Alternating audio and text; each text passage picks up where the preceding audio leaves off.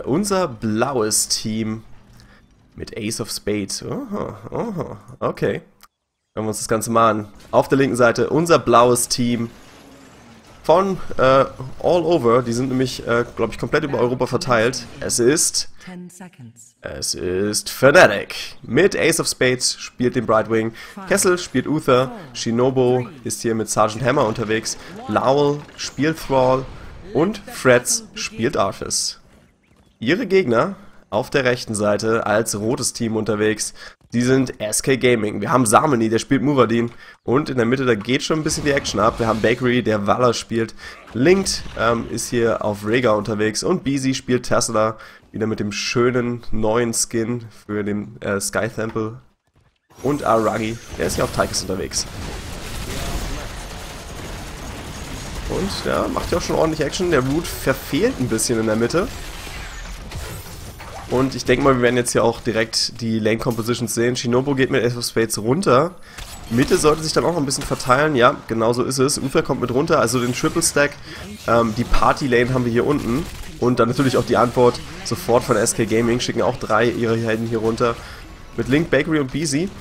Oh, also Beezy hilft hier auf jeden Fall, die Lane ganz gut zu klären. Shinobu gerade in einer interessanten Position. Oh, das, da muss er echt aufpassen. Aber sie haben hier nicht so viel massig CC, um Shinobu da wirklich wegzudrücken oder in arge Bedrängnis zu bringen. Das Totem erstmal clearen. Aber ja, immer mal wieder hier in den Sturm reingefahren. Soweit äh, hält sich SK hier aber ganz wacker. Schauen wir uns mal die anderen Lanes an. Ah, wobei, erstmal nochmal gucken, ob hier der Shrine auch sofort genommen wird. Ja, Busy geht da ganz aggressiv vor. Shinobu jetzt hier nochmal direkt im Sturm drin, nimmt einiges an Schaden mit. Und es sieht so aus, als wenn SK hier doch Fnatic zurückdrücken kann und den unteren Schrein sich sichert. Oh, beide Schreine gerade gesichert. Und Aragi kann er vielleicht sogar channeln.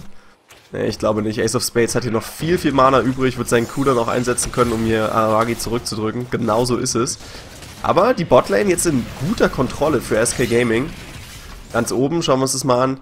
Da holt sich, holt sich äh, Thrall gerade die Kontrolle über den oberen Schrein zurück. Und Samani muss hier an Mana Well zurück. Ihr habt es vorhin gesehen. Also man verbraucht wirklich sehr, sehr viel Mana auf Muradin. Und Arthas kommt jetzt hier rein. So eine leichte, äh, eine leichte Rotation hier in die Lanes. Arthas einfach oben gegen Muradin. Auch, denke ich, die bessere Antwort. Wobei Thrall sich eigentlich auch ganz gut, ähm, ja, ganz gut macht da. Valaul könnte jetzt hier vielleicht gegen Aragi einen schönen Stun setzen, aber der verfehlt hier leider. Und Aragi kriegt hier eine volle Runde mit seiner Gatling Gun los. Aber die untere Kontrolle ist immer noch hier in äh, festen Händen für SK. Und Shinobu, ja, der nimmt einiges an Schaden, konnte sich aber hier eine gute, eine gute Siege-Position bringen. Oh, da ist ein guter Stun auf Speezy, aber der kommt natürlich davon. Da hilft auch der Polymorph nichts auf ihm. Vielleicht schafft Shinobu da unten jetzt was auszurichten. Nee, der kriegt hier nochmal einiges an Feuer ab. Also Linked gibt da wirklich perfekte Sicht, dass Bakery sich auch ein bisschen weiter vorwagen kann. Äh, eine Mine, nee, alle Minen wurden inzwischen schon ausgelöst. Also SK hält hier einfach wacker die Stellung. Der obere Tempel, der wird aber auch gut von Arthas gehalten. Muradin versucht es jetzt hier mal gegen ihn. Und Freds, wartet er? Ja, er wartet. Kommt der Root? Kommt der Root? Nein, noch nicht. Noch nichts. Ist hier vorerst ähm, nur Frostmon Hungers ein. Beziehungsweise, ähm, Quatsch, das war der Frozen Tempest. Und mittlere Lane. Uh, vielleicht kann Aragi jetzt... Nee, er kann nichts. Und Laue ist auch zu niedrig, um sich hier zu weit rauszuwagen. Unten das Ganze sehr, sehr gut gehalten, weiterhin von SK. Und wir schauen uns jetzt mal die Talente an. Ein bisschen zu spät, ich weiß. Äh, da kommt Bribe natürlich auf Brightwing haben Protective Shield, also sie gehen das Double Support wirklich die ganze Zeit lang ausgenutzt. Ähm, Double Support und dann noch Protective Shield. Würde mich nicht wundern, wenn hier auch noch ähm, First Aids mit reinkommen. Ansonsten doppeltes in Venom, sowohl auf Thrall als auch auf Arthas. Ja, und da ist auch First Aid natürlich für Sergeant Hammer. Macht sie, macht sie halt deutlich, ähm, deutlich überlebenswerter, ähm, was so sagen kann. Oh, schöner Stun auf Bakery, aber ich denke mal, der kommt hier davon. Da fehlt einfach der Follow-up. Beezy kommt nochmal von oben rein, haut ein Oracle raus. So, und auf der anderen Seite haben wir First Aid für Tychus, Battle Momentum natürlich für Valor mit drin. Oh, oh, oh, hier geht es gerade richtig hart zur Sache. Ace of Spades muss aufpassen, hat schon einiges an Schaden einstecken müssen. Aber sie konnten kurzzeitig immer die Kontrolle über, über den Tempel erreichen, aber das reicht nicht aus. Ace of Spades muss hier wieder zurück. Und Beezy, jetzt hier nochmal mit einem doppelten Stun, ist sehr, sehr niedrig, was Mana angeht, aber Shinobu war in einer schlechten Position. Konnte hier nicht wirklich ein Follow-up setzen. Sollte vielleicht mal versuchen, noch ein paar Mal ähm, mehr Mines hier in die, ähm, in die Büsche auch zu setzen, um das Ganze gefährlicher machen, zu machen für SK, dass sie da auch überhaupt reinkommen können soweit.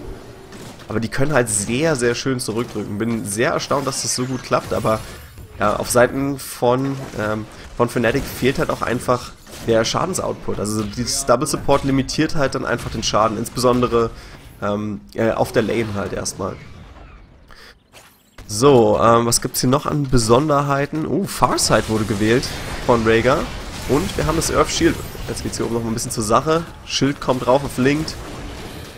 Und BZ hält hier immer noch sehr, sehr stark. Top Shrine inzwischen wieder in der Kontrolle von Fnatic. Also Samani hat da nicht wirklich eine Chance gegen Arthas. Ähm, er hat halt ein bisschen die Bewegungsvorteile, dadurch, dass er diesen Sprung machen kann. Äh, kann immer mal wieder den Dwarf Toss setzen. Aber äh, Freds hat halt einen schönen Root. Und das macht es halt für Samani sehr, sehr gefährlich, diesen Shrine überhaupt anzugehen. Unten wird wieder gut gedrückt. Und wieder einmal die Kontrolle zurückgeholt. Jetzt sind sie schon zu viert unten. Also Fnatic muss aufpassen, dass sie nicht zu viel XP flöten gehen lassen. Level 10 jetzt hier für, ähm, für Fnatic. Und SK auch fast Level 10, aber sie wollen jetzt hier auf keinen Fall irgendeinen Fight eingehen. So, da sind die Level 10 Talente auch für sie. Und ich denke mal keinerlei Überraschung. Ja, Rain of Vengeance kommt von Valor. Da unten der Archon und eigentlich müsste es Ancestral Healing für Rhaegar sein. Uh, in der Mitte nicht aufgepasst. Da ist Tychus draufgegangen für SK.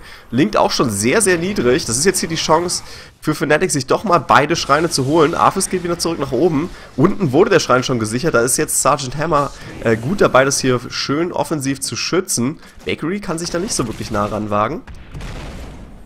Und oben Oh, Arthas, kriegt er die Kontrolle? Nee. Und Link kommt noch von der linken Seite. Jetzt muss er echt aufpassen aber voller Rückzug ist angetreten worden. Also doch kein Dragon Knight vorerst hier. Jetzt kommt hier nochmal Bright, Brightwing rein. Ace of Spades, Lau kommt von hinten. Uh, Samoni muss hier weg. Aber Aragi ist schon in der Position, um hier den Dragon Knight äh, am Channel aufzuhalten. Also ich glaube nicht, dass sie trotz allem hier die Dragon Knight Control kriegen. Mal schauen, wenn sie zu dritt runtergehen, nur Brightwing oben lassen. Das könnte vielleicht doch was werden.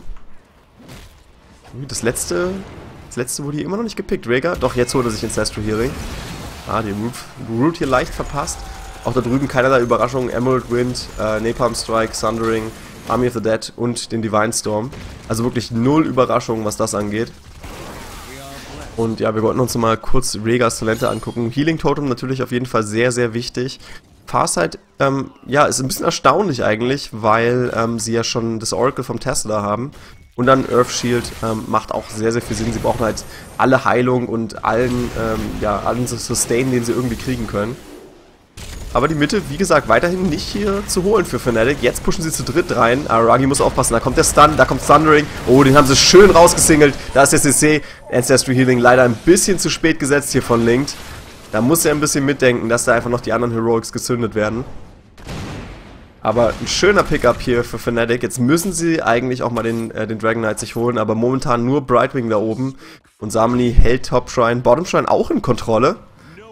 Aber ich finde es eigentlich ganz schön, wie das Fnatic gerade macht. Die holen sich nämlich hinten dran die Bruiser. Das heißt, jetzt muss reagiert werden. Aber Kessel, kommt er ran? Ja, er kommt ran. Kann das Challenging unterbrechen. Kommen sie nochmal ran? Nein, da ist der Dragon Knight. Leider etwas zu spät. Und auch Bakery wird hier davon kommen. Mit dem Dragon Knight wird jetzt natürlich äh, SK versuchen, irgendwie zu pushen. Sieht so aus, als wenn sie in die obere Lane gehen, um da ein bisschen was ausrichten zu können und natürlich auch gleichzeitig noch gegen die Bruiser vorzugehen, die sich hier wacker auf den Weg machen. Und da sind auch Samani und Bakery schon dran. Ich meine, Link kann das hier ganz vorne, ganz, ganz schön alleine machen, vorne einfach ein bisschen Druck aufbauen. Kriegt einen guten Root ab, aber nur zu dritt glaube ich nicht, dass sie hier Link äh, wirklich in arge Bedrängnis bringen können. Insbesondere da Samani und Bakery halt hinten noch warten. Jetzt kommt hier aber nochmal ein guter Stun. Hätte er vielleicht später setzen müssen, wenn Link da rauskommt.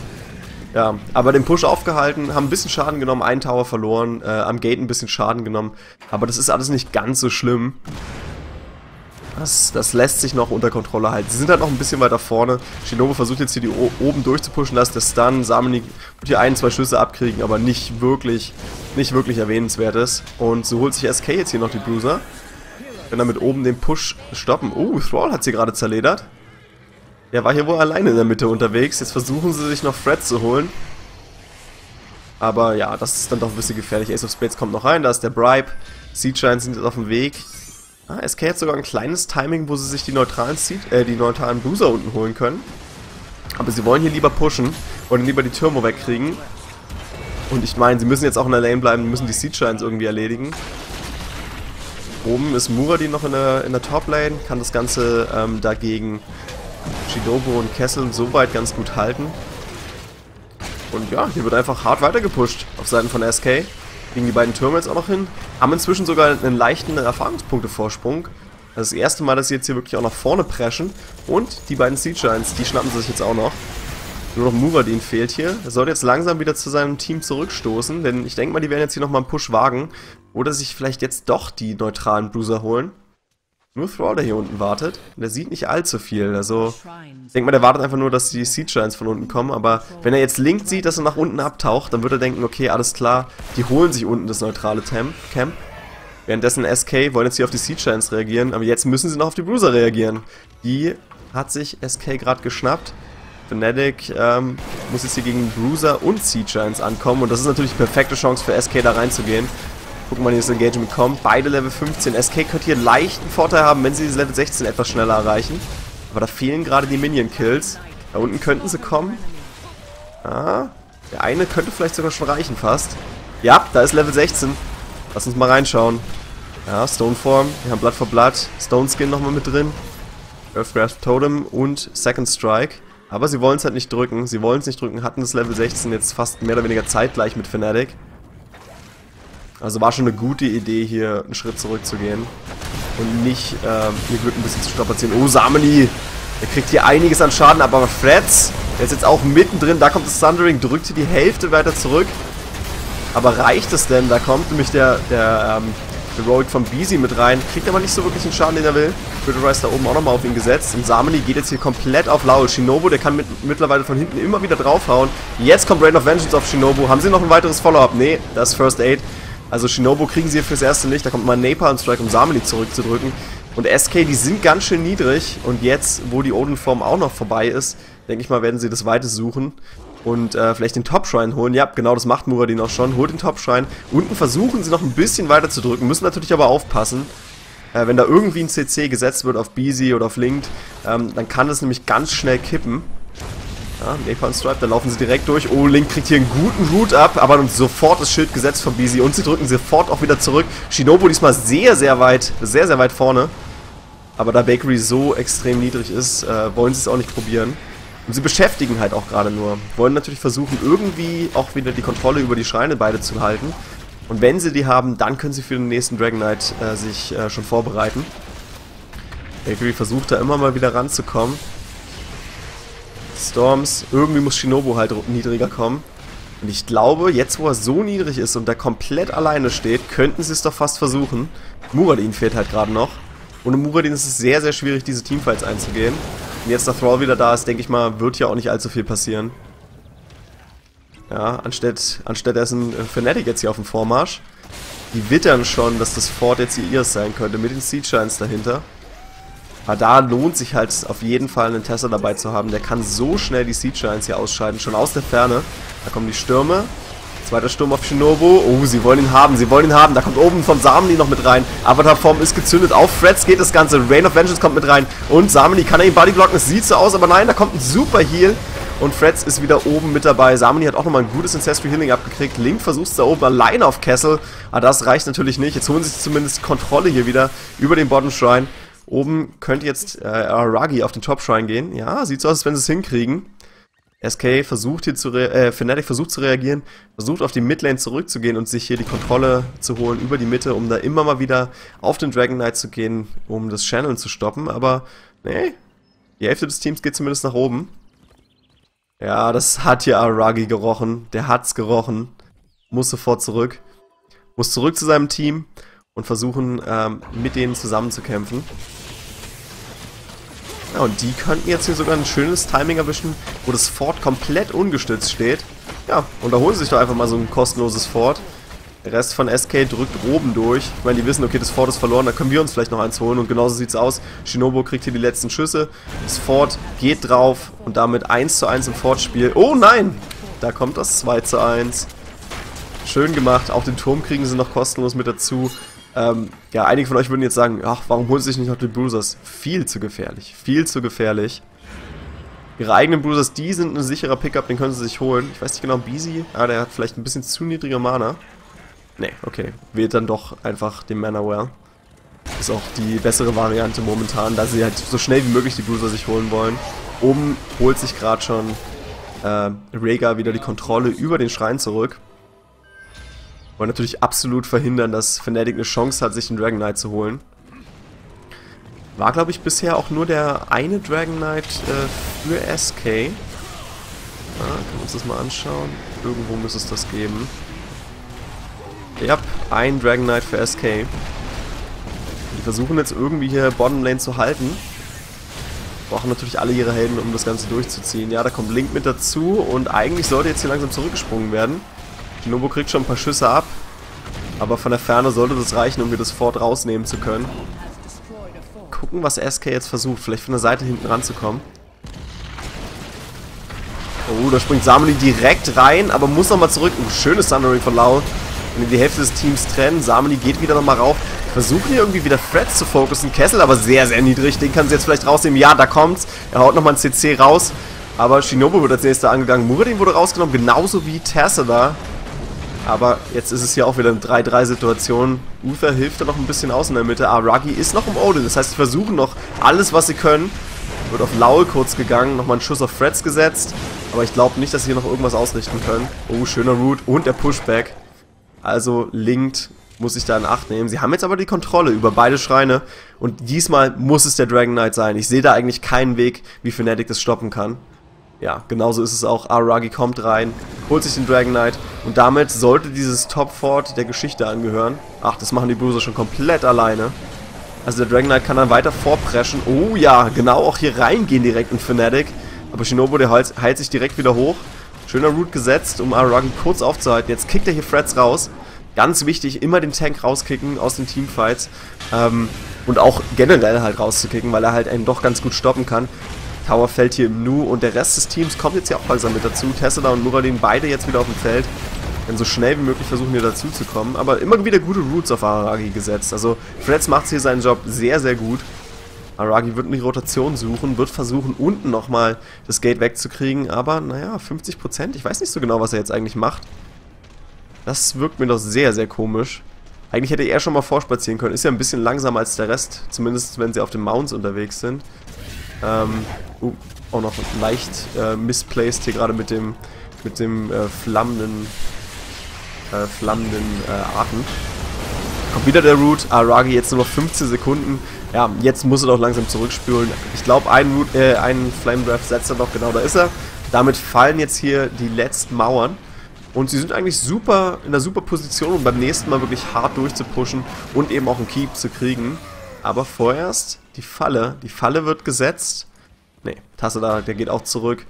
Blau kommt rein, sieht, dass sie das Siege Camp holen wollen, aber das ist ein bisschen zu risky. Sie haben zwar Level 20, aber Fnatic auch fast.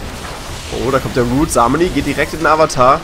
Shinobu in einer sehr, sehr guten Position, aber jetzt ist er doch hier ganz schön weggedrückt. Uh, apropos wegdrücken, da kommt das Thundering mit rein. Siege Camp wurde gerade gebribed. Also sehr gut gemacht. Können sich das Siege Camp gleichzeitig noch holen. Und damit jetzt hier auf das Keep gehen. War doch ein bisschen schneller als erwartet. Samani ist hier allerdings auch fast schon aus seiner Avatar-Form raus. Also ich glaube nicht, dass sie hier wirklich viel pushen werden. Auf anderer Seite bei Fnatic nur das Thundering genutzt. Und da unten, ja, die Bruiser, die notorialen Bruiser holen sie sich. Ich mag das, dass Bakery hier ein bisschen auf der linken Seite bleibt, einfach scoutet, wann der Rest des Teams kommt. Weil dann müssen sie eventuell die Bruiser noch abbrechen. Sieht so aus, als wenn es diesmal aber klappt. Haben es vom Timing gerade her noch hingekriegt. Und da kommt der Turnaround. Oh, schön getrennt hier das komplette Team. Freds kriegt auch direkt einen Stun ab. Ein paar Stürme kommen da auch noch mit rein. Aber mit dem Bruiser müssen sie natürlich kämpfen. Oh, schöne Aktion hier von Brightwing mit dem Emerald Wind. Drückt das komplette Team von SK zurück. Und ein Napalm Strike versucht die Bruiser auszulöschen. Aber es reicht nicht ganz. Level 21 ist jetzt hier schon in Sichtweite für SK. Damit haben sie wieder einen leichten Vorteil. Samling springt damit rein. Kriegt er was ausgerichtet? Nein, nochmal ein Thundering gesetzt. Das hilft wirklich immens. Unten der Rain of Vengeance, aber ihnen fehlt das Focus Fire. SK wirklich mit brachial schlechten Focus Fire momentan. Aber trotz allem, sie drücken halt hart zurück. Big Red Button auf Kessel. Dann muss der Final Kill kommen. Ja, da ist er. Samani haut er nochmal rein. Mit seinem Hammer. Und jetzt mit einem, einem Support weniger haben sie doch eine gute Chance auf das Keep zu gehen. Aber Samani, oh, der ist schon extrem niedrig. Genauso Beezy. Super Root gesetzt. Samani kann nochmal davon springen. Und Lau mit dem Chain Lightning. Oh, Samani, du musst echt aufpassen. Du bist extrem niedrig dran. So, jetzt sind wieder die beiden Schreine verfügbar. Ich denke mal, Samani holt sich vielleicht den Top-Shrine, aber muss halt, wie gesagt, echt aufpassen. Der braucht unbedingt einen Heal. Er braucht unbedingt einen Heal. Ganz nach oben geht's da für ihn. Muss mal wieder einen Blick hier in die Talente werfen. Haben wir schon lange nicht mehr gemacht. Auf Seiten von Fnatic wurde Criterize gewählt. Äh, dann natürlich Wind Fury Build auf Thrall. Graduating Range. Oh, interessant. Okay. Okay, also ein bisschen bisschen größere Range auf dem Siege Tank. Haben vielleicht gemerkt, okay, so richtig kamen sie da nicht ran. Und Stone Skin, Imposing Presence dann auf Uther. Und dann haben zweimal Bolt of the Storm. Nur einmal auf Seiten von SK und Storm Shield. Und ansonsten natürlich die Verbesserungen der anderen Heroics. So, Top Shrine jetzt in Kontrolle wieder für SK Gaming. Also, Fnatic weiß, irgendwie so richtig können sie da nichts gegen ausrichten, haben sich stattdessen die Bruiser geholt, aber das ist nicht wirklich die Antwort momentan. Bruiser holt man sich lieber, wenn man selber den Seed scheint, äh, den, ähm, Dragon Knight hat, dass die halt noch in einer anderen Lane ein bisschen Schaden machen. So, und jetzt bin ich mal gespannt. Holt er sich jetzt hier die Rest von der Mitte oder wollen sie einfach unten durchpushen? Ich denke mal unten. Das Keep hat ja schon ein bisschen Schaden genommen und äh, Gates sind weg, Tower haben ein bisschen Schaden genommen. Es ist auf jeden Fall die bessere Wahl hier. Können sie sich vielleicht ihren äh, Erfahrungspunktefortschritt noch weiter ausbauen. Rainbow nicht so richtig top gesetzt. Jetzt kommt Fretz rausgekickt. Das muss jetzt eigentlich der Move sein für SK, darauf zu gehen. Napalm Strike macht hier gut zu auf der Seite, aber ja, das Keep wird auf jeden Fall fallen. Ein Flame Breath noch rein und dann war's das. Ja, da fällt's. Aragi zieht sich schon sofort zurück. Sie wollen vielleicht ein bisschen das Feld ein bisschen verdünnisieren. Fnatic äh, ein bisschen lang, länger ziehen. Und natürlich hier oben auch noch irgendwie das Tor zerstören. Ja. Tor und Türme fallen. Und das war's dann vielleicht auch schon fast. Nochmal eine Rotation, mal gucken. Reicht, glaube ich, nicht ganz. Ne, sie gehen einfach zurück. Wollen hier die Bruiser in der Toplane stoppen. Ja, gut. Kann man machen. Sie spielt es auf jeden Fall sehr sicher runter. Ist, ist, denke ich, schon die bessere Wahl. Aragi hätte jetzt die Option, einfach mal rauszuschlüpfen aus seinem, aus seinem Drachenkostüm. Aber noch hat er ja ein paar Sekunden, also warum nicht auch noch einsetzen? Ist natürlich ein bisschen schneller unterwegs, aber dadurch, dass die Bruiser jetzt eh geklärt wurden, ja, ich meine, vielleicht kann er nochmal Freds aus dem Kampf kicken. Glaube, den hat er gerade nicht gesehen. Nee, sieht nicht so aus. Sieht nicht so aus. Aber sie kommen jetzt rein. Bakery ist hier versucht, versucht hier den Bait rauszuziehen, aber ich glaube, das ahnt Fnatic schon. Solche Fehler machen sie eigentlich nicht. Sowas kann ihnen nicht passieren. Ja, Freds wartet jetzt hier auch im, im Busch. Muradin hat ihn, glaube ich, nicht gesehen. Ah, jetzt. Da kommt, da kommt äh, das Invision. Hilft natürlich jetzt ganz immens. Jetzt können sie von der Unterseite rankommen. Oh ja, Samuli springt direkt rein. Shinobu kriegt ein paar Schläge ab. Aber Freds auch. Beezy kommt noch mit reingesprungen. Oh, Ace of Spades muss aufpassen. Aber ein schönes Thundering hat hier nochmal die Hälfte des Teams zurückgehalten. Tesla wurde direkt rausgenommen. Und Fnatic pusht hier gut, gut voran. Samni hält sich aber sehr, sehr wacker. Immer wieder gute Heals hier von Link. Halten ihn da ordentlich am Leben. Oh, Laul, du musst draufgehen. Ja, da ist er. Rain of Vengeance hat ihn hier ordentlich zugesetzt. Shinobu da unten muss echt auch aufpassen, aber Link kann ihn nicht weiter verfolgen. Samani geht jetzt nochmal rauf. Und Araragi könnte hier wirklich den letzten Kill kriegen damit. Die sind alle in einer Linie. Da ist der Big Red Button. Samani versucht hier nochmal die Verfolgung aufzunehmen. Aber noch schafft's Shinobu. Freds ist jetzt eher derjenige. Und Ace of Spades. Oh ja, oh ja. Also sie wollen Freds haben. Ace of Spades wird, glaube ich, auch einfach nebenbei draufgehen. Ja, genau da ist es. Bakery jetzt nochmal an der Verfolgung von Freds. Und den kriegen sie auch. Der dreht sich um, versucht für sein Team noch ein bisschen Zeit zu kaufen. Auf jeden Fall ein sehr, sehr, sehr schöner äh, Comeback hier in dem Kampf für SK Gaming. Und damit fährt jetzt auch der letzte Turm. Drei Heroes, äh, drei Helden sind schon draufgegangen. Das heißt, sie können auf die Mitte rotieren, können da auch noch das Keep rausnehmen. Und das muss es doch noch schon fast gewesen sein. 20 Sekunden auf Thrall. Ah, vielleicht schafft es hier Fnatic nochmal zurückzukommen. Sie haben Kessel noch am Leben, der kann nochmal ein paar Stunts raussetzen. Aber das Keep, das schmilzt halt einfach nur dahin. Gegen vier Helden und bald fünf. Tessa, da macht sich nämlich gerade schon wieder auf den Weg. Aber sieht so aus, wenn SK es nicht wirklich drücken will. Ja, ich glaube, ich glaube, sie wollen es doch nicht versuchen. Spielen es wieder sehr, sehr sicher runter. Ein Keep haben sie ja noch, was sie, was sie noch sicher nehmen können. Nächster Dragon Shrine sollte eigentlich auch ihrer sein. Ihr habt alle schon in Position. Linked ist unten, oben ist Beezy und da wird auch sofort gechattet. Oh nein, leicht verzögert. Könnte vielleicht sogar reichen. Könnte vielleicht reichen. Nee, reicht nicht. Testet er, vielleicht schafft er es noch weg. Nee, schafft er nicht. Aber es sind wieder vier Helden plus Dragon Knight. Und der Dragon Knight macht halt einfach immens viel Schaden auf dem Core mit dem Flame Breath. Kann auch immer wieder dann Freds raushauen. Sofort wird die Odenform gesetzt. Und Freds rausgekickt. Sehr, sehr gut. Super Sundering allerdings von Laul. Und da kommt der CC Bakery Feld. Und mal gucken, ob es der Dragon Knight und der Odin alleine schaffen. Ich glaube es ja fast nicht. Aber die Schilde sind schon unten. Link kommt nochmal mit rein. Aragi nimmt ja einiges an Schaden mit, aber sie fokussieren momentan Samini. Ich glaube trotz allem, dass es reichen wird. Die Odin-Form immer noch nicht gepoppt. Und Link haut auch noch nebenbei mit drauf. Ja, das reicht. SK Gaming holt sich hier den Sieg. Schön gespielt, wirklich im restlichen Teil des Spiels. Also in der ersten Hälfte sah es ja nicht ganz so toll aus, aber später haben sie dann doch sehr, sehr gut brilliert. Haben sich nichts gegeben gegen Fnatic und so einen sehr ordentlichen Sieg abgeholt. So.